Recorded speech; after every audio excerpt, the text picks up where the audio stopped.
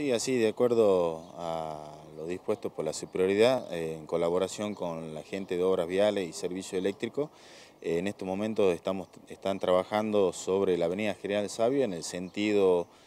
que viene desde el Servicio Penitenciario hacia zona sur. Eh, estos están haciéndose a media calzada, por ende solicitamos a los señores conductores en general que circulen por precaución en el lugar. Hay conos este, ubicados a lo largo de la avenida Sabio hasta calle, desde el servicio penitenciario, como le decía, hasta lo que sería avenida Río Bamba, lo que sería Coronel Arias. Lo, también se vienen trabajando sobre calle José la Iglesia,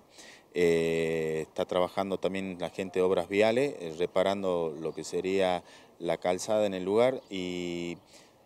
se, ha prohibido el estacionamiento sobre calle Santiago del Estero, en el tramo comprendido entre José la y Segada. Por ende, les recomendamos que eviten estacionar en este sector, a pesar que hay inspectores y este trabajo hace 15 días, se prohibiría el estacionamiento por este plazo eh, hasta tanto termine la obra en José la Iglesia. En razón de que los vehículos de obras viales están sacando material del lugar, eh, por ende se prohibió el estacionamiento en ese sector.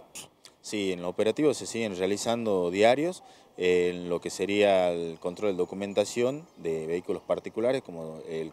uso del casco en el caso de motocicleta y el tema de que eviten circular con exceso de pasajeros en las motocicletas, ya que las mismas son únicamente para dos, el conductor y un pasajero más. Únicamente las recomendaciones para el caso de los conductores de motocicleta, usar el casco de seguridad